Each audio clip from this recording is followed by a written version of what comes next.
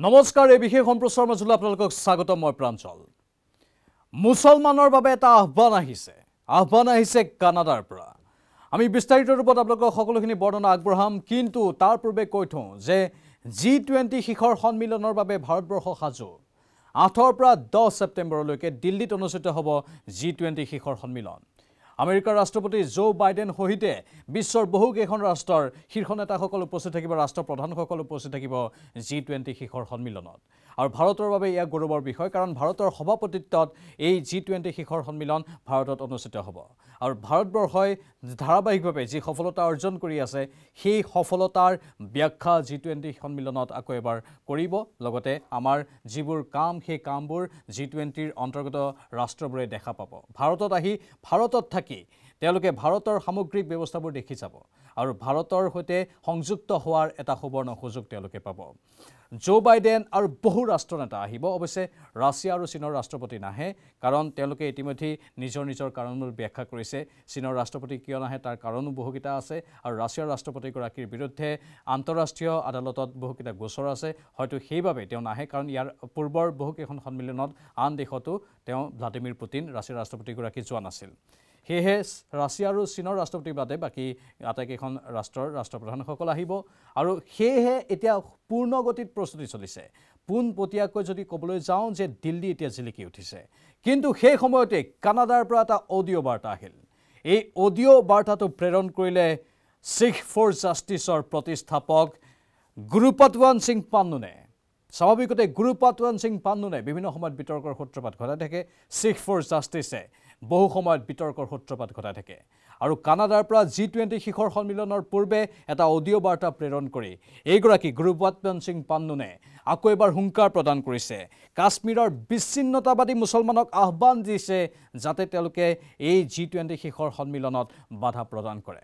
এয়া হৈছে কাশ্মীৰৰ বিচ্ছিন্নতাবাদী মুছলমানৰ বাবে এটা আহ্বান গুৰুপতৱন সিং পান্নুনৰ কৈছে যে শুকুৰবাৰৰ নামাজৰ পাছত কাশ্মীৰৰ পৰা দলে বলে বিচ্ছিন্নতাবাদী মুছলমানসকল দিল্লীলৈ আহিব লাগে আৰু দিল্লীৰ প্ৰগতি মৈদানত য'ত জি টুৱেণ্টি শিখৰ সন্মিলনৰ আয়োজন কৰা হৈছে তাত আহি এই শিখৰ সন্মিলনত বাধা প্ৰদান কৰিব লাগে। অতি ভয়ংকৰ আৰু এটা ভয়াৱহ বাৰ্তা তেওঁ প্ৰেৰণ কৰিছে। স্বাভাৱিকতেই এয়া হৈছে বিচ্ছিন্নতাবাদী বাৰ্তা। স্বাভাৱিকতেই এয়া হৈছে হিংসা বিয়পোৱাৰ বাৰ্তা যি বাৰ্তা প্ৰেৰণ কৰিছে এইগৰাকী গুৰুপতৱন সিং পান্নুনে আৰু তেওঁ যি বাৰ্তা দিছে সেই বাৰ্তাক লৈ এতিয়া তীব্ৰ প্ৰতিক্ৰিয়াৰ সৃষ্টি হৈছে।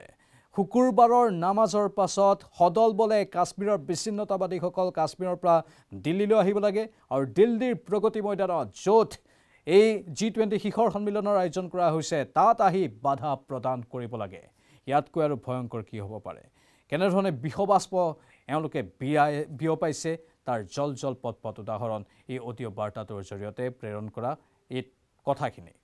কিন্তু আৰক্ষী সষ্টম নিৰাপত্তাৰক্ষী সষ্টম জি টুৱেণ্টি শিখৰ সন্মিলনৰ বাবে বহু তৰপীয়া নিৰাপত্তা বেষ্টনী যিহেতু গঢ়ি তোলা হৈছে বহু ৰাষ্ট্ৰপ্ৰধানৰ কথা আছে আৰু যিহেতু দেশৰ আভ্যন্তৰীণ নিৰাপত্তাৰ সমান্তৰালভাৱে সমগ্ৰ বিশ্বৰ সন্মুখত ভাৰতৰ মৰ্যাদাৰ কথা আছে। সেয়েহে স্বাভাৱিকতেই এই ত্ৰুটিবোৰ যাতে ৰৈ নাযায় তাৰ ওপৰত দৃষ্টি দিয়া হৈছে। কোনো বিশেষ লোকে আহি যাতে হিংসা বিয়পাব নোৱাৰে তাৰ ওপৰতো দৃষ্টি দিয়া হৈছে। কিন্তু বাৰে বাৰে ছিক্স ফৰ জাষ্টিছ নামৰ এই সংগঠনটোৱে কিয় এনেধৰণৰ বিতৰ্ক বিতৰ্কৰ সূত্ৰপাত কৰি থাকে? ইয়াৰ পূৰ্বেও বহুকেইটা বিতৰ্কৰ সূত্ৰপাত কৰিছিল। বহুকেইবাৰ ভাবুকি ভৰা পত্ৰ বহুকেইটা ভাবুকি ভৰা বাৰ্তা প্ৰেৰণ কৰিছিল তেওঁলোকে কানাডাৰ পৰা। কিন্তু তেওঁলোকৰ সকলো যি পৰিকল্পনা তাত চেঁচা পানী ইতিমধ্যে পৰি আছে এইবাৰো পৰিব। ইয়াৰ পূৰ্বে যেতিয়া আমি যদি চাবলৈ যাওঁ দিল্লীৰ কেইবাটাও মেট্ৰ' ষ্টেচনত খালিস্তানৰ সমৰ্থনত গ্ৰেফিটি অংকন কৰিছিল। আৰু সেই গ্ৰেফিটি অংকন কৰাৰ সময়তেই দুজন এওঁলোকৰ সমৰ্থকক গ্ৰেপ্তাৰো কৰিছিল আৰক্ষীয়ে। মানে এওঁলোকৰ প্ৰতিটো এনেধৰণৰ পৰিকল্পনা বিফল কৰিবলৈ চেষ্টা কৰি থকা হৈছে। স্বাভাৱিকতেই কৰা হ'বই কাৰণ তেওঁলোকে হিংসা বিয়পাবলৈ চেষ্টা কৰে আৰু যেতিয়াই এনেধৰণৰ কাৰ্যকলাপত তেওঁলোক লিপ্ত হয় তেতিয়াই আৰক্ষী বাহিনী নিৰাপত্তা বাহিনী এওঁলোকৰ পিছত লাগি যায় আৰু ইয়াৰ পূৰ্বে দুজনক কৰায়ত্ব কৰা হৈছিল। কিন্তু এইবাৰ যি বাৰ্তা দিছে সি অত্যন্ত ভয়ানক। সমান্তৰালভাৱে এই বাৰ্তাটোৰ লগতে জি টুৱেণ্টি শিখৰ সন্মিলনৰ সময়ত দিল্লী ইন্দিৰা গান্ধী আন্তঃৰাষ্ট্ৰীয় বিমানবন্দৰত আনকি খালিস্তানৰ পতাকা উৰুৱাম বুলিও এইবাৰ হুংকাৰ দিছে। কেৱল যে এই জি টুৱেণ্টি শিখৰ সন্মিলনত বাধা প্ৰদান কৰাৰ বাবে বিচ্ছিন্নতাবাদীসকলক আহ্বান জনাইছে তেনে নহয়। দিল্লীৰ ইন্দিৰা গান্ধী আন্তঃৰাষ্ট্ৰীয় বিমানবন্দৰতো আনকি যিসকল বিচ্ছিন্নতাবাদী লোক আছে খালিস্তানীৰ সমৰ্থক আছে সেই খালিস্তানীৰ সমৰ্থনত পতাকা উৰুৱাৰো হুংকাৰ দিছে এইগৰাকী গুৰুপতৱন সিং পাণ্ডুনে। আৰু এই সকলো বিষয় এতিয়া নিৰাপত্তা ব্যৱস্থা বা নিৰাপত্তা বাহিনীবোৰে ভালদৰে চাই আছে যাতে অপ্ৰীতিকৰ পৰিস্থিতিৰ উদ্ভৱ নহয়। কাৰণ ইয়াত ভাৰতৰ সন্মানৰ কথা আছে বিশ্বৰ বহুকেইখন দেশ আহিব। আমেৰিকা যুক্তৰাষ্ট্ৰৰ ৰাষ্ট্ৰপতি জো বাইডেনৰ দৰে ব্যক্তি আহিব। সেই ব্যক্তিসকলৰ সন্মুখত আমাৰ সন্মানৰ প্ৰশ্ন জড়িত আছে। যদি সঁচাকৈয়ে দিল্লীৰ আন্তঃৰাষ্ট্ৰীয় বিমানবন্দৰত খালিস্তানৰ সমৰ্থনত যি পতাকা আছে সেই খালিস্তানৰ সমৰ্থিত পতাকা যদি উৰুৱাব লগা পৰিস্থিতি হয় সেয়া কেতিয়াও হ'ব দিব নোৱাৰি সেয়া হ'লেই স্বাভাৱিকতেই নিৰাপত্তাৰ প্ৰশ্নটো আহি পৰিব। আৰু এতিয়া এক কটকটীয়া নিৰাপত্তা বেষ্টনী দিল্লীত এইকেইদিন সেই বিষয়বোৰক লৈ অধিক নিৰাপত্তা বেষ্টনী গঢ়ি তোলা হৈছে। লগতে কোনো বিচ্ছিন্নতাবাদী শক্তিয়ে যাতে এনেধৰণৰ অপকৰ্মত লিপ্ত হ'ব নোৱাৰে সামাজিক বিষবাস্প বিয়পাব নোৱাৰে তাৰ ওপৰতো দৃষ্টি দিয়া হৈছে। আৰু সকলোৱে আশা কৰিছে যে জি টুৱেণ্টি শিখৰ সন্মিলন সফল হওক সফল হোৱাই নহয়। জি টুৱেণ্টি শিখৰ সন্মিলনে ভাৰতবৰ্ষৰ বাবে আশাৰ বতৰা কঢ়িয়াই আনক। আগন্তুক দিনত ভাৰতবৰ্ষৰ নেতৃত্বতেই বিশ্ব আগবাঢ়ক। সেইটোৱেই সকলোৱে প্ৰাৰ্থনা কৰিছে কামনা কৰিছে আৰু সকলো বিচ্ছিন্নতাবাদী শক্তিক জনগণে এক প্ৰকাৰ কৈছে যে অশান্তি নিবিয়পাবা।